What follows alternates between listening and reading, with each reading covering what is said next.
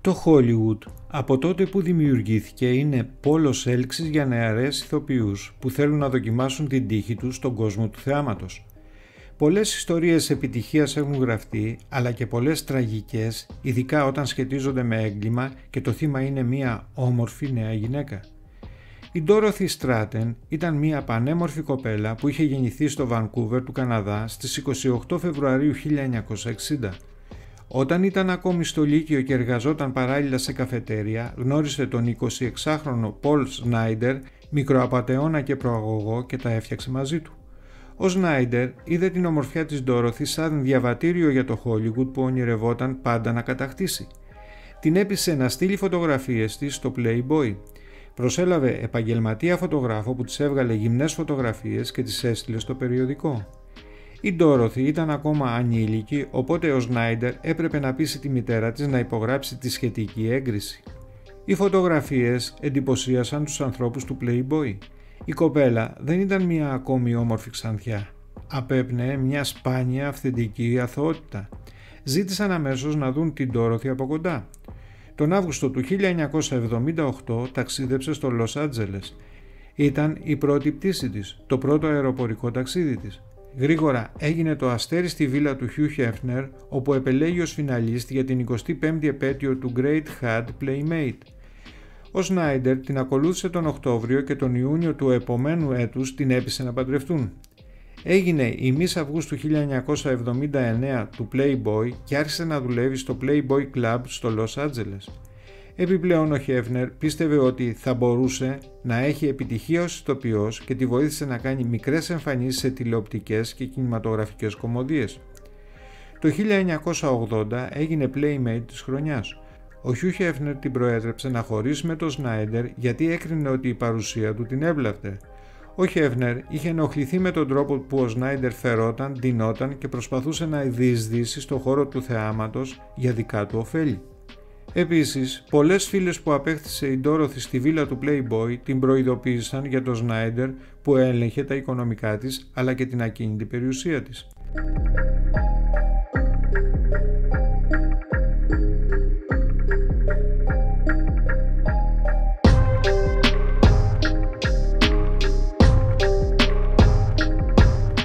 Σε ένα από τα πάρτι στη βίλα, η Ντόροθι γνώρισε τον σκηνοθέτη Πίτερ Μπογκδάνοβιτς, που μαγεύτηκε μαζί της από την πρώτη στιγμή. Ο Μπογκδάνοβιτς ήταν σαραντάρης, βραβευμένος με Όσκαρ σκηνοθέτης και χωρισμένος.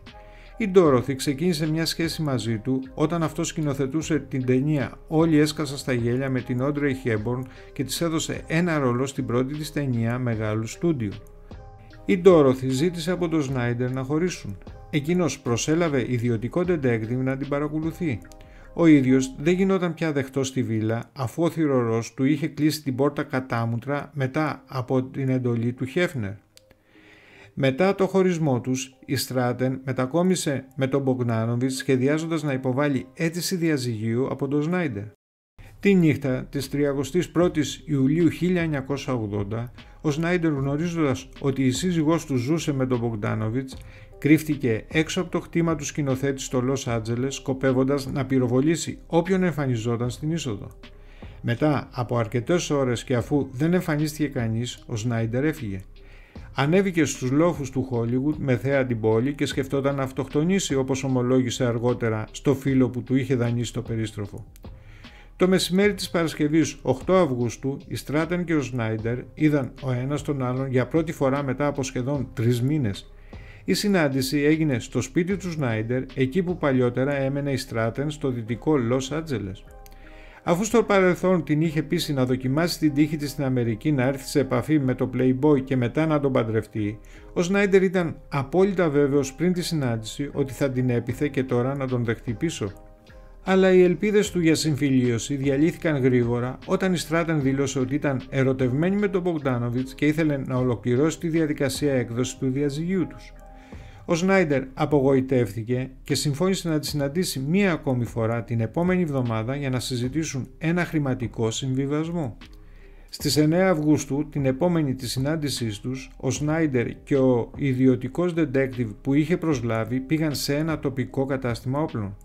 Το κατάστημα δεν μπορούσε να του πουλήσει όπλο εξαιτίας της καναδικής του ηθαγένειας και ο Σνάιντερ ζήτησε από τον detective να αγοράσει εκείνος το όπλο. Ο detective αρνήθηκε όπως έκανε και τις επόμενες μέρες που ο Σνάιντερ προσπάθησε και πάλι να το πείσει να του αγοράσει όπλο για προστασία στο σπίτι. Στις 11 Αυγούστου ο Σνάιντερ είχε δει μια αγγελία για πώληση όπλου στην κοιλάδα Σαν Φερνάντο, αλλά πηγαίνοντας εκεί χάθηκε και γύρισε στο σπίτι άπραχτος. Στις 13 Αυγούστου 1980 έκλειναν δύο χρόνια από τότε που η Στράτεν είχε φτάσει στο Λος Άντζελες για να ξεκινήσει τη σταδιοδρομία της ως μοντέλο. Εκείνη την ημέρα ο Σνάιντερ αγόρασε μια χρησιμοποιημένη κυνηγετική καραμπίνα από ιδιώτη που βρήκε σε αγγελία τοπικής εφημερίδας. Αργότερα, εκείνο το βράδυ σε κουβέντα με φίλους, ανακοίνωσε πως είχε αγοράσει όπλο και πως θα πήγαινε για κυνήγι. Κατά τη διάρκεια της ίδιας κουβέντας, ο Σνάιντερ ανέφερε πως το Playboy θα μπορούσε σύντομα να τραβήξει γυμνές φωτογραφίες μιας νεκρής Playmate για το επόμενο τεύχος.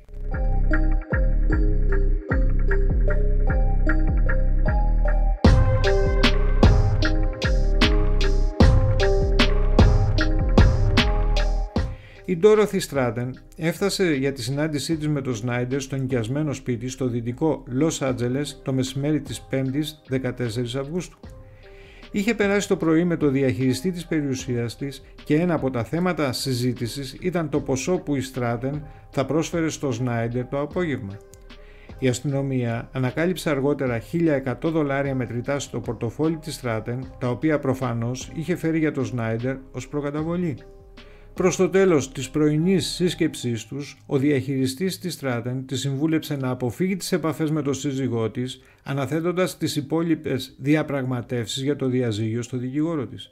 Η Στράτεν έκρινε ότι η διαδικασία θα ήταν ευκολότερη εάν αντιμετώπιζε η ίδια το Σνάιντερ, εξηγώντας ότι ήθελε να διατηρήσει φιλικές σχέσεις μαζί του. Ο Σνάιντερ είχε και δύο συγκάτοικους που είχαν φύγει το πρωί, οπότε το ζευγάρι ήταν μόνο όταν η Στράτερ μπήκε στο σπίτι. Στις 8 το βράδυ οι δύο συγκάτοικοι επέστρεψαν. Βλέποντας το αυτοκίνητό της σταθεμευμένο μπροστά στο σπίτι και την πόρτα του υπνοδωματίου του Σνάιντερ κλειστή, υπέθεσαν ότι το ζευγάρι είχε συμφιλειωθεί και ήθελε την ησυχία του. Έτσι πέρασαν αρκετές ώρες βλέποντας τηλεόραση στο σαλόνι. Στις 11 το βράδυ τηλεφώνησε ο ιδιωτικός detective του Σνάιντερ και ζήτησε από τους συγκατοίκους να μπουν στο υπνοδωμάτιο. Έτσι και έκαναν. Εκεί με φρίκη ανακάλυψαν νεκρούς την Dorothy Stratton και τον Paul Σνάιντερ. Είχαν πυροβοληθεί με το όπλο του Σνάιντερ και τα δύο πτώματα ήταν γυμνά.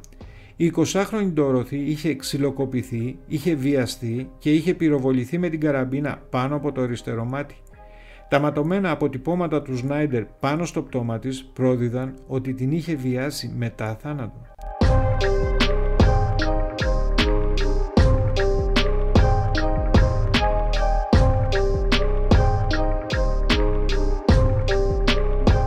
Σύμφωνα με το χρονοδιάγραμμα της αστυνομίας, ο Σνάιντερ είχε πυροβολήσει την κοπέλα το απόγευμα, μια ώρα δηλαδή μετά από την άφηξή της στο σπίτι. Ο Σνάιντερ αυτοκτόνησε περίπου μία ώρα μετά τη δολοφονία.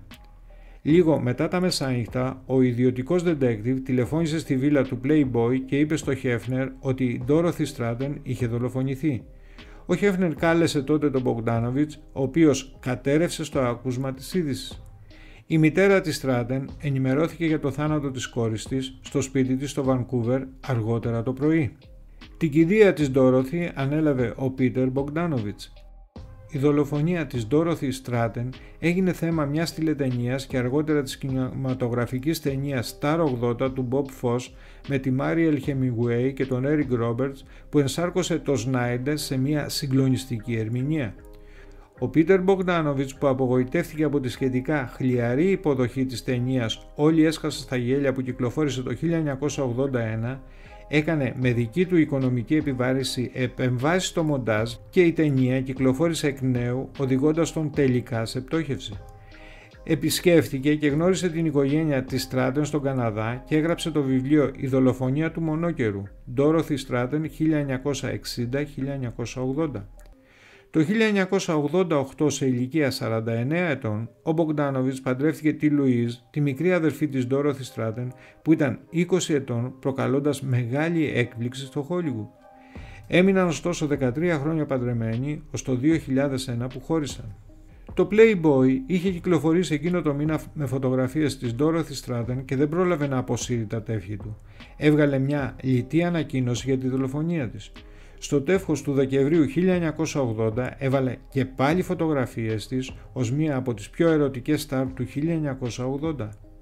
Ο θάνατός της έκοψε νωρίς αυτό που οι ειδικοί αναλυτές προέβλεπαν ότι θα είναι μια λαμπρή καριέρα στον κινηματογράφο, ανέφερε μια λεζάντα.